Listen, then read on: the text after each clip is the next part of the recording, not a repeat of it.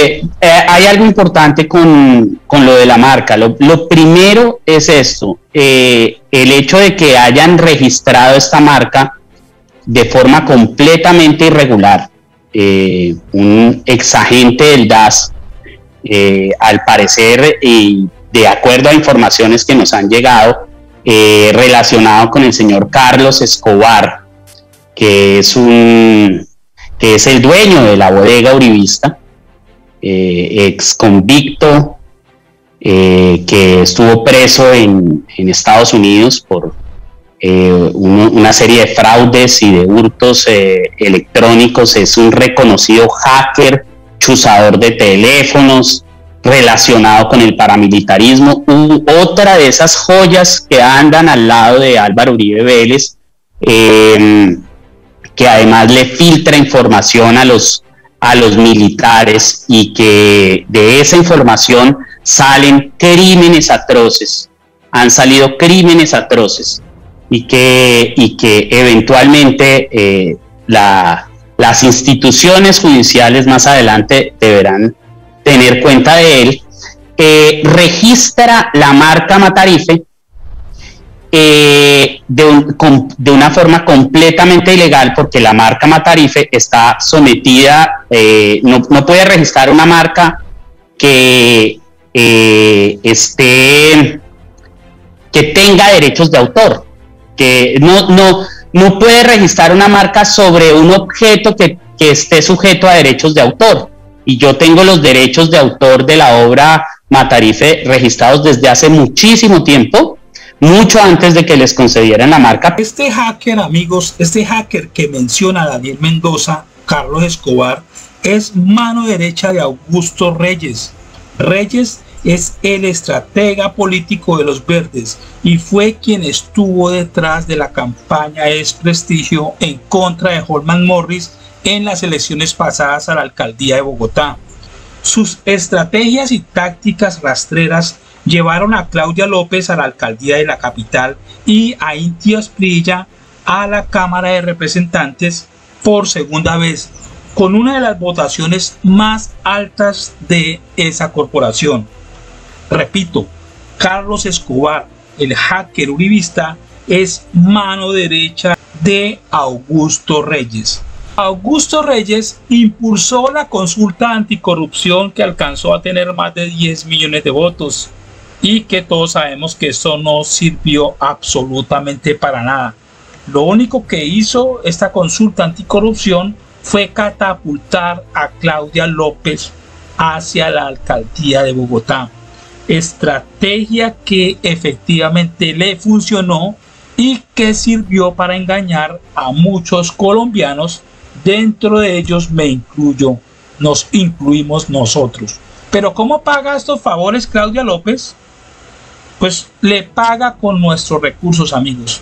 Ni siquiera es capaz de pagar con su dinero, paga con nuestros recursos otorgándole contratos a este personaje como lo denuncia este portal. Claudia López le regala multimillonario contrato al novio de Mafe Carascal. Aquí se refieren a Augusto Reyes. Pero ya vamos a entrar en detalles porque aquí hay un anexo a través de Mafe Carascal la relación, la cercanía que hay entre estos verdes y el hacker Escobar, Carlos Escobar. Estamos en el portal Cuentas Claras y este es el anexo 5.2b donde se registran las, contribuciones, donaciones y créditos a las campañas políticas de nuestros candidatos. Aquí aparece Inti, el registro de Inti Raúl Aspilla Reyes, y aquí aparece en la posición número 8, poder y poder. Poder y poder le hace un crédito a Inti Aspella por 109 millones de pesos. Le recuerdo que poder y poder es de Augusto Reyes, el estratega político de los verdes. Y recordemos de nuevo que el hacker uribista es la mano derecha de Augusto Reyes. Entonces, eh, ¿cómo irá a pagar eh, Inti Aspilla ese dinero? Pues yo creo que la cuota inicial es la siguiente.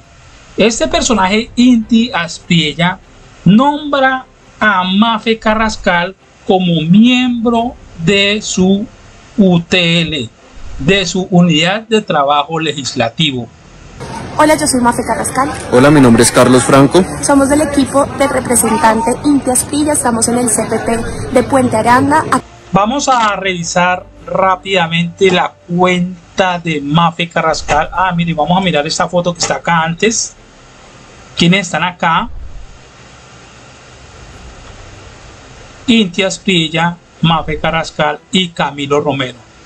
Acá hay un dato en común amigos, vamos a revisarlo muy bien, pero antes vamos a revisar la cuenta de Mafe Carrascal. A propósito me tocó hacerlo por otra cuenta de Twitter porque por exigirle respuestas a, esta, a, esta, a este personaje, a esta señora, ella nos bloqueó.